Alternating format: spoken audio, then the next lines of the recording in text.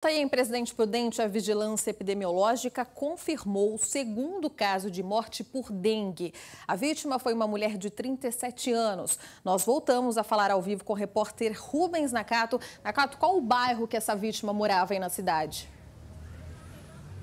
Pois é, Jéssica, mais uma morte, o que agrava ainda mais a situação da dengue aqui em Presidente Prudente. Essa mulher morava ali no Jardim Itapuã, zona leste da cidade, inclusive bairro bem próximo ali do Jardim Alvorada, também na zona leste, onde morreu a primeira vítima de dengue, uma mulher de 49 anos. Essa mulher, essa segunda morte por dengue aqui em Presidente Prudente, da mulher de 37 anos, foi confirmada agora pela Vigilância Epidemiológica biológica, mas essa mulher morreu no dia 18 deste mês. Inclusive, ela estava grávida, o bebê nasceu pouco antes dela morrer, o bebê passa bem. Mas, enfim, no atestado de óbito dela constava já a dengue hemorrágica, mas é, período, é preciso um período né, para confirmação desse caso pelos órgãos públicos de saúde, o que saiu agora, né? E outro agravante, viu, Jéssica? Ela teve ali o sorotipo 2 do vírus da dengue, isso em 2016 já havia um registro que essa mulher de 37 anos